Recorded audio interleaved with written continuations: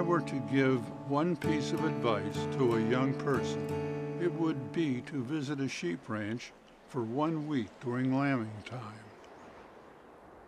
I know of no other place where one can observe so many ramifications of nature in such a short span of time. It is the ideal environment to study the interrelation of birth, life, and death, even the philosophy of which might have come first.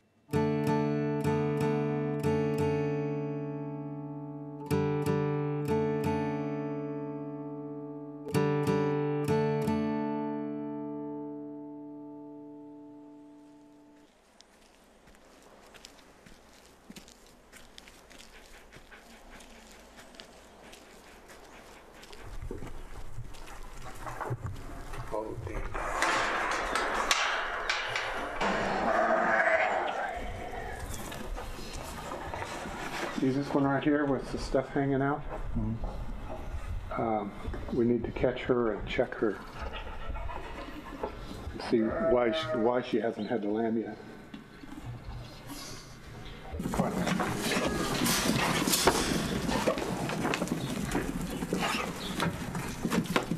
Come on, get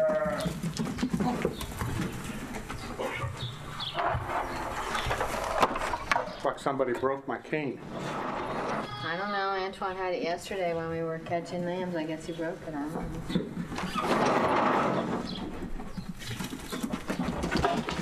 You want a glove?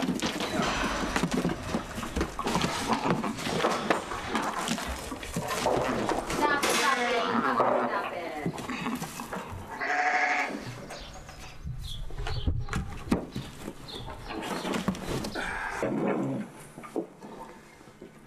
Why do you think something's wrong? No, I don't. I think everything's okay. It's all straight. Yeah. Because she was just looking pretty uh, um, bloody. Wasn't sure what the deal was. So if you watch her long enough, she's going to have probably two lambs.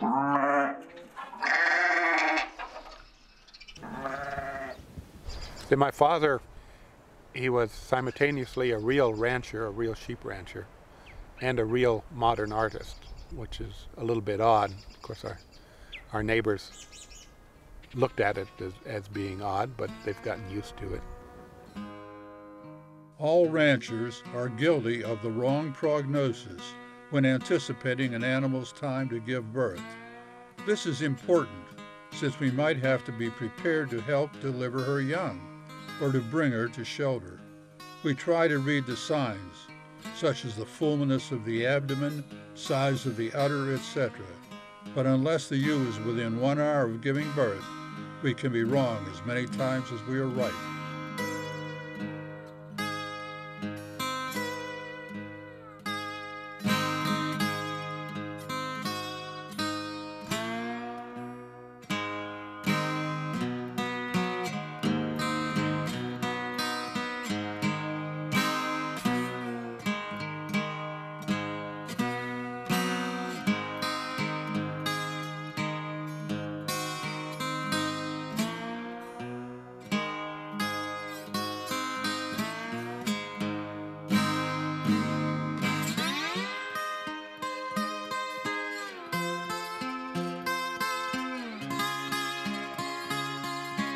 For the first minutes, his long legs refused any of the normal commands of his mind, but he kept on trying, aided by the licking and bunting of his mother.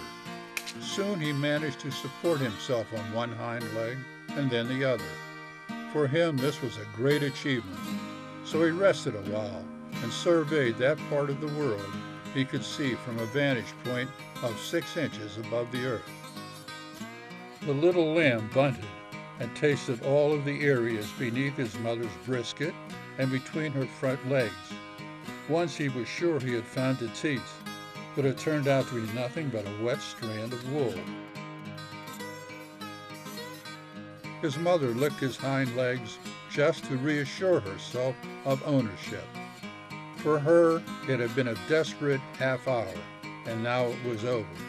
She now had a baby to nurse for the rest of the spring and summer months.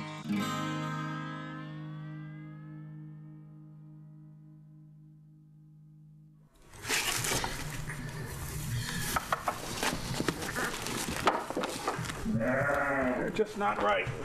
There's something wrong with them.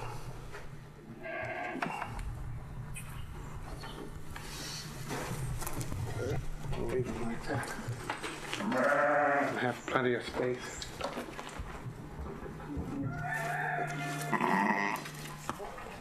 These two were born simultaneously, and one was very, very weak, and I don't know what's going on. She's a good ewe with good milk, but uh, there's something wrong.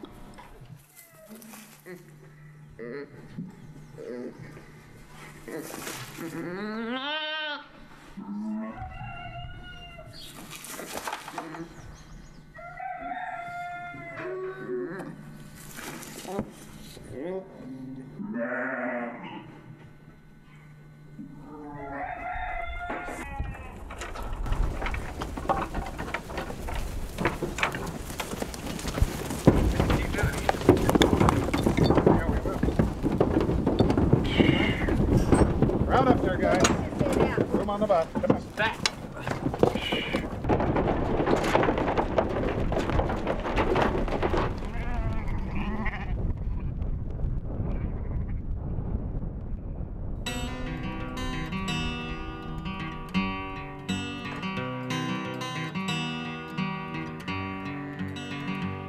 They are the most aggressive foragers of all farm animals, and by far the most reliant.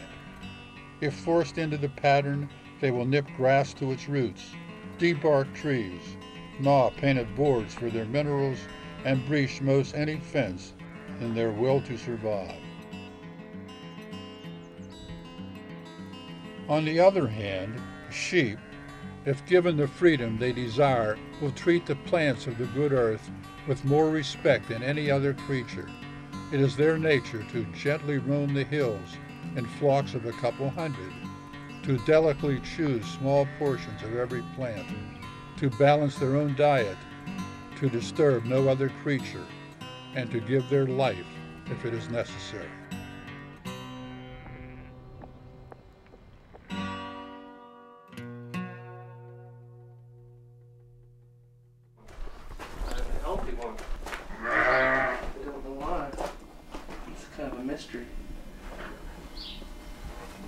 Died. He's not rigor mortis in this area. And now, this is the guy that was sick.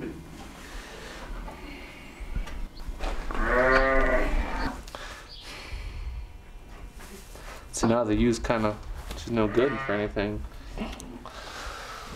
She definitely knows it. She can tell. Well, it's just weird.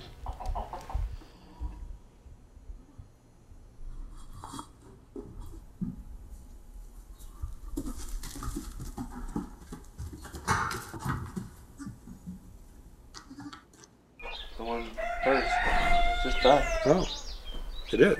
Yeah, that's the one over there. I'll be darned. Huh? I gave it a shot. It just died. It just died. Huh. Yeah, it's a mystery. Well, there's something wrong going on wrong. Yeah, And that one's no good. I don't know what to do with him. That leg is really broken. Yeah, it is. And this just keeps him from moving it. Yeah, that leg is broken. It's a hard spot to. Do anything. Doesn't seem to hurt it much. Kind well, of not hurt, but It has to hurt. well, we could splint it differently.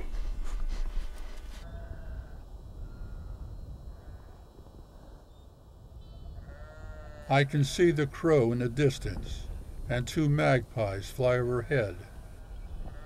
There is a strange quietness for this early morning hour.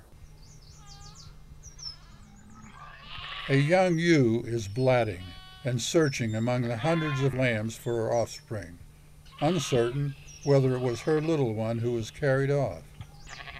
To me, the scene is all too familiar, one I have witnessed scores of times. A coyote has killed. I've seen him kill. It's not too tough with a big old fat lamb. They just they don't even have to go to full run. They just go right and grab its neck first of all and just take it down. it's pretty quick and clean kill actually. Yeah, Dad just shot it from here, right there off the porch. Doesn't get any simpler than that. Coyote right here. Lamb lot right there. She was probably a year old. They don't quite, they're not quite aware, humans, you know, and what to be careful of. The one thing about this kind of business that's birth and death simultaneously. Just all here.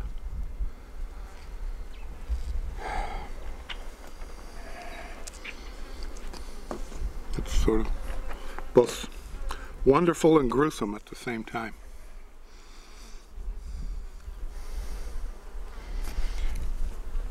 I think uh, one of the things that's happened, particularly in American society more than other society, it, it's the most urban culture ever in history.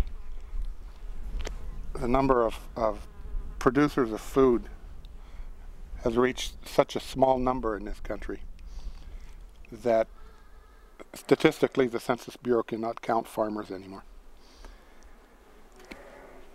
So we have an entire culture, uh, you know, divorced entirely from the, um, you know, uh, thousands of years of human history and development, the struggle to uh, to feed themselves. Sheep production has almost disappeared from the United States. The economics, the, the constant fight uh, with the predators, it, just made people just give up. They just, I, I just not going to put up with it anymore. You know, like I just lost three to foxes. Lost maybe as many as 50 last year out of a fourth of my lamb crop. And it just gets, why am I doing this? It makes no sense. The, uh, there used to be a lot of sheep in Montana raised in the high mountains. But with grizzly bears and wolves, it's not possible. Well, Guy, you get another mother already. And you like this one, didn't you? You like that one. She was taking care, care of you. Yeah, a foster child. From one foster home to another.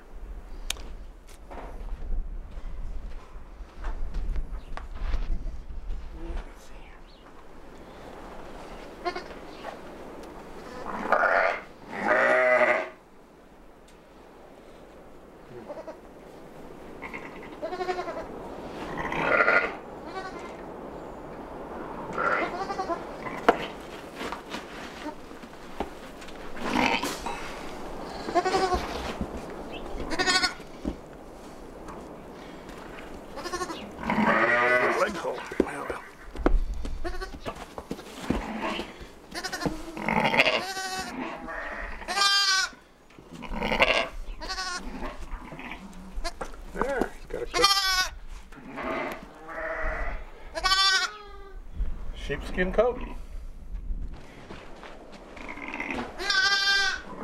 Hey! Came back to life. Came back to life better than ever.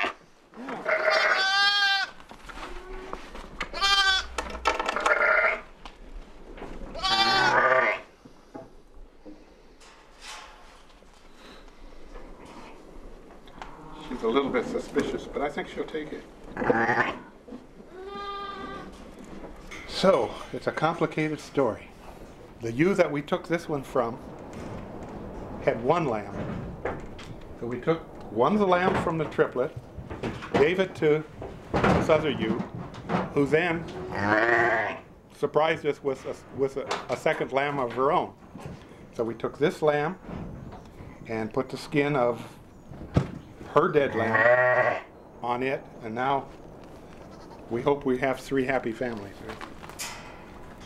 Plus an orphan. with a broken leg.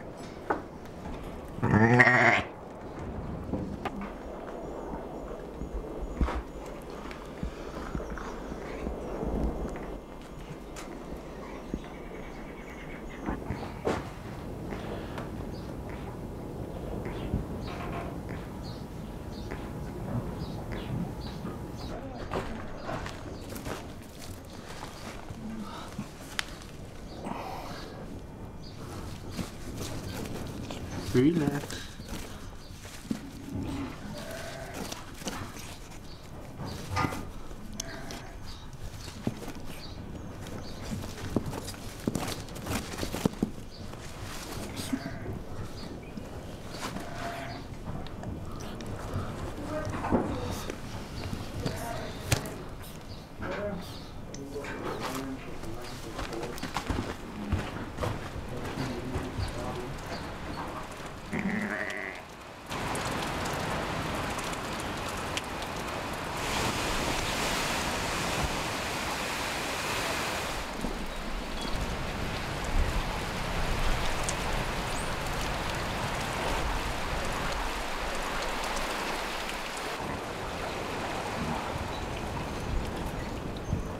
Well, the trick seems to be working.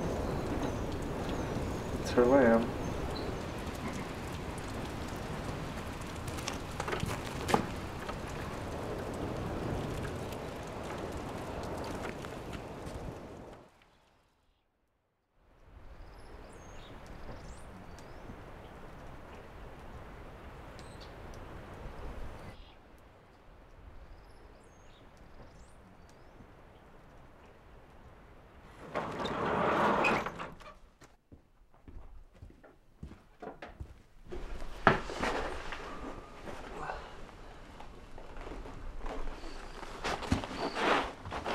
He's still going. I, I really didn't think he'd pull through. I thought he'd I thought he'd be the one that would go, but he's been a survivor. The lady who's been helping us lamb, who helped us when we were really busy, she has a little daughter who's uh, eight years old, Lacey, and she's gonna take this little guy and see him through and hope his leg heals all right. I think sometimes maybe an eight-year-old child can give attention and care to a, a little lamb. He's certainly beaten the odds so far.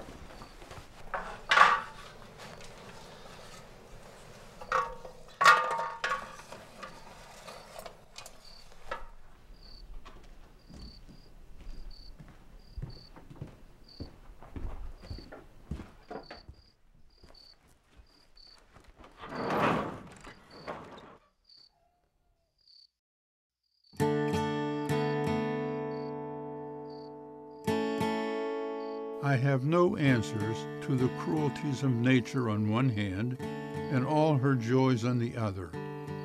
Why she has devised so many ways to continue life and just as many ways to destroy it.